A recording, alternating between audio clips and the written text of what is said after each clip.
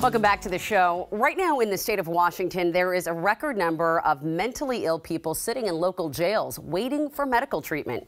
King 5 investigative reporter Susannah Frame is digging into this issue in a new series, Mentally Ill Waiting in Jail, and she joins me now. I'm so grateful you're here.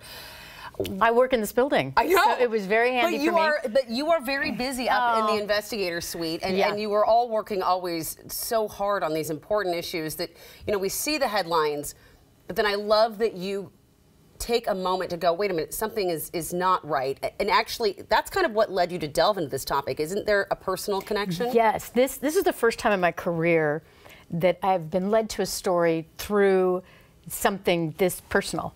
Wow. Um, Will you share? It was sure. It was. You're the first person I've told this to. No kidding. Well, your producer. I told your producer. But anyway, a year ago, uh, this woman was thrown down uh, a steep set of, set of stairs at a light rail station. I remember that. It was shocking. And, and the video went across the country. oh my gosh, we're looking at the video That's right the now. video. And I'm, so we all saw this video. It was horrible. And the man that is pushing her down, uh, allegedly, his name is Alexander Jay. And he has been found incompetent to stand trial, very mentally ill. Anyway, that person is a very good friend of mine. The person who was thrown yes, down the stairs. Yes, she's my former neighbor here in Oh my Seattle. goodness. And so I was like, oh my gosh, that's Kim. And so I, of course, was very interested in her case. And I got to thinking, oh, oh, and then what happened with the case is he was sitting in jail and he was supposed to be sent for mental health treatment so he could be competent to stand trial.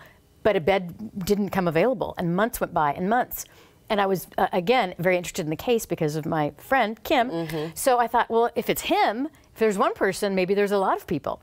So I put in a bunch of public records to King County in the Yeah. state of Washington and found out that indeed we were smack dab in the middle of the worst crisis of this nature ever in the state of Washington, with a record number of people just like him. Uh, Waiting in local jails across the state of Washington for mental health treatment that is the responsibility of the state of Washington to take care of. Not the counties, but, but the, the state. Okay, and let's mm. just explain too to folks is that if someone is not mentally competent to stand trial, they, the, the process can't move forward without them getting that treatment to hopefully then make them competent. Correct. Right. These are people that have an illness. Mm-hmm. You know, it's just it, it, it by, by law, by our society, we recognize this is an illness, and if you're that ill and you can't understand what's going on, you mm-hmm. can't move forward with your trial. It also, in the state, they're not providing them treatment in a timely manner. They have seven days. But Alexander Jay, in the video there, he's been waiting more than seven months. He's been waiting like nine months.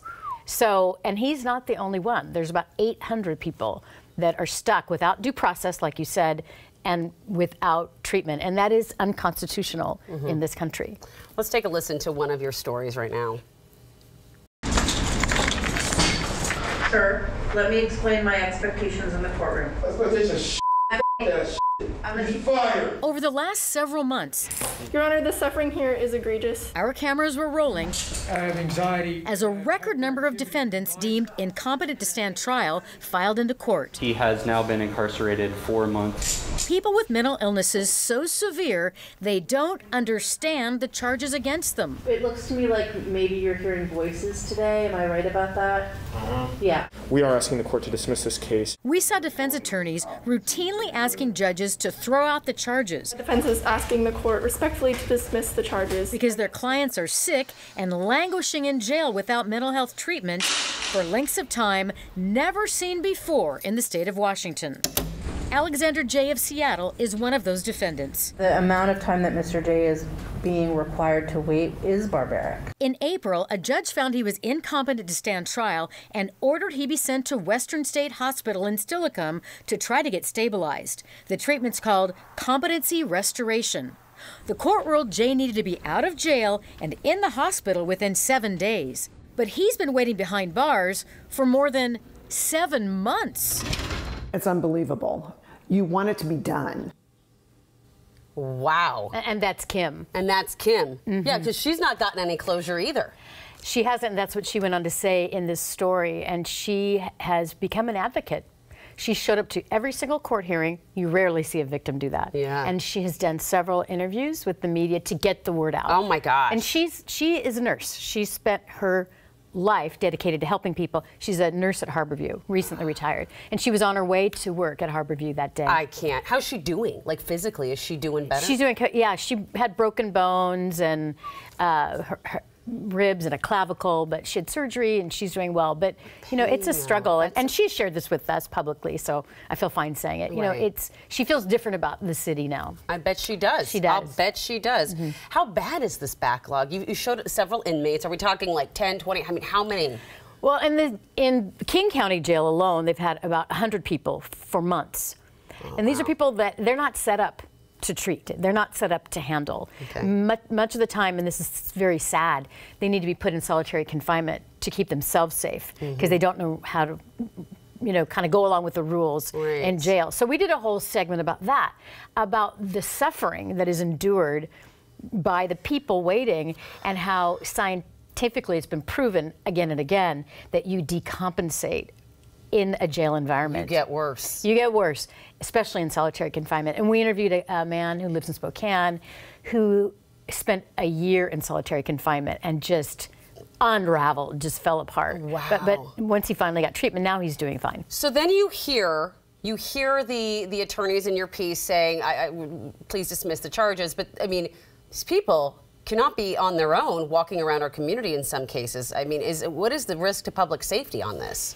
That's what the prosecutors really feel strongly about is that this is a public safety risk. Because let's face it, judges are in a corner. Yeah. Because they're seeing these people not moving forward with their due process rights. And so many judges have dismissed cases saying, I, I don't know what else to do. I'm, my hands are tied. A- right? And that happened in Clark County. So, Vancouver, Washington, a judge had a, a defendant before him who'd been waiting, I think, five months for a bed at Western State. And it, it was not getting any better. That he didn't see any sign that he was going to get a bed. Mm-hmm. So he let the guy go. He, did I say he was he had been charged with assault? Uh-huh. This guy was let out a couple months later. He ended up in Idaho and randomly killed a couple um, who were just pill. Oh, he, this, this is him, um, John Cody Hart, and he was let out. He went to Idaho in this little town called New Meadows and randomly murdered this couple that was really the pillars of this small town. So we went to Idaho and could really feel just the the heartbreak there. Just that this had happened, and they were very angry. These people in Idaho uh, at the state of Washington for not doing their job. Yeah. And then, you know, the fallout happening to their community.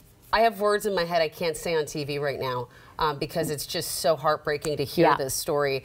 Um, And that's an outlier, though. Let's be honest. okay, It- yeah, that's let- an outlier. That's that's that's a bit. That's yeah. very. People should not take take away the idea that mentally ill people are more likely to commit a crime. That is not true. That is not true. Absolutely. But I, I and like you said, this is one instance of this situation.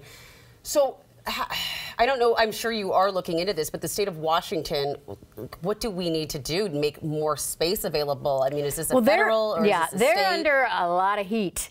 DSHS, if your viewers are familiar with the Mm-hmm. Department of Social and Health Services, it's their job to provide this treatment, and they're under a lot of pressure from a federal judge. There's been um, a federal lawsuit that we have not complied with as a state. The, Mm-hmm. the judgment in that suit for 10 years. And so fines are racking up every day that people across the state are sitting in jail. Yeah. And that number is up to over $300 million, which we haven't had to pay all of it, but the bill might come due. Um, also, Superior Court judges are fining the state every day. So all these fines are racking up. We, of course, will be the ones to have to, To pay, pay it, that. yeah. Um, so they're under pressure to build more beds, open more beds, get more staff. I mean, it, they don't have enough room and they don't have enough people. And they're looking for clinicians like everyone else is. Yes. Oh, Yeah. Mm-hmm. This problem is not going to end soon, but we will, of course, continue to follow with you.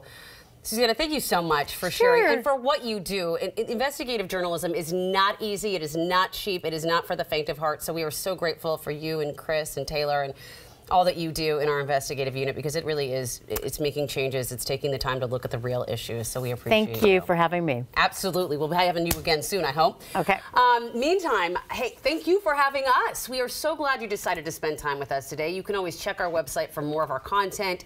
Uh, you can always send us an email and share your thoughts, or if you have an idea you'd like to see on New Day. But most importantly, my friends, I want you to get out there and enjoy your new day. We'll see you next time.